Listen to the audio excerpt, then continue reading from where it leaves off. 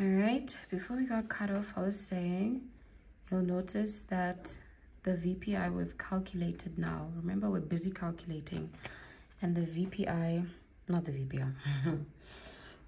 we're busy calculating our tangent grades and we just calculated our tangent grade right at the VPI, which is the purple line over here. And we got a value of 223.5. And I said, in order to check your accuracy, the value you calculate at your VPI and at your final level at C should correspond with the ones you're given.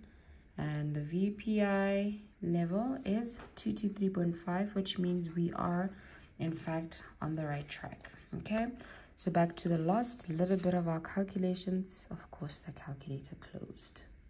Ugh. But anyway, remember that our formula is your previous tangent level plus your grade, applicable grade, times your chainage interval divided by 100. Okay. Then you can carry out the rest of your calculations in manner. So we have 223.5 plus, open your bracket, and our grade after the VPI was 1 point, no, no, no, no, no, no, no. 1.142857143. You don't have to use the whole number. I'm just using the entire one. Then remember we're now at the VPI, which is 410. The distance from 410 to 430 is 20. So your chainage interval will be 20, won't be 30 divided by 100 then the next number I get is 223 point where am I?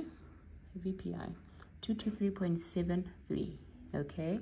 Then remember we keep using our previous answer. So what you can do just get back to the point where you had added it manually and just say answer but pay attention to the chainage distance. So now we're moving from 430 to 460 and our interval distance is 30 so you're gonna go all the way back there and make it 30 then it becomes 224.07 then now we're at 460 we have the end of the vertical curve right after. So from 460 to 470 your interval becomes 10 so you don't need to change that answer part anymore but you do need to change this interval distance. It becomes 10 then we have 224.19 do I? Why do I feel like I'm cooking wrong stuff? Yes 224.19 then from your end of the vertical curve to the next one is 470 to 490 our interval now becomes 20 again. Make it 20 224.41 that's our next one.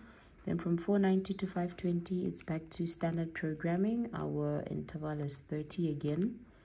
Change it here make it 30 we have 224.76 then from 520 to 550 fingers crossed that we have the final road level that we are given. It's still 30 sorry i don't know why i'm changing that.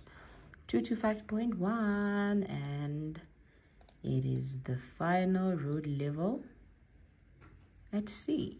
So this tells us our tangent grade calculations are in fact correct. Then um, the values that we've been calculating, remember we've essentially been calculating, calculating and writing them down. I hope you were writing them down. Then you can just come and plug them all here to the corresponding table or row. Then next we are gonna go into our offset calculations. So offset will only be applicable between the red line and the blue line. So that's essentially between the beginning of a vertical curve and the end of your vertical curve okay? But your offset at the red line or at the bvc is zero. The offset at your evc will also be zero. We're trying to find one two three four five values okay in the next video we're gonna get into that. I'm just gonna off screen um, edit the tangent grades and then we'll be back